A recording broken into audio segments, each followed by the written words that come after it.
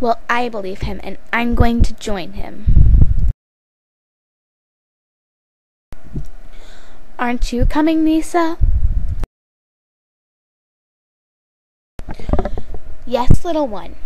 Now, Convoy, I think it's best that we stay here for the night.